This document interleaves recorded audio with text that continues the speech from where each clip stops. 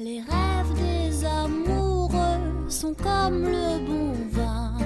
Ils donnent de la joie ou bien du chagrin. Affaibli par la faim, je suis malheureux. Pas longtemps chemin, tout ce que je peux, car rien n'est gratuit dans la vie. L'espoir est un plat bien trop vite consommé.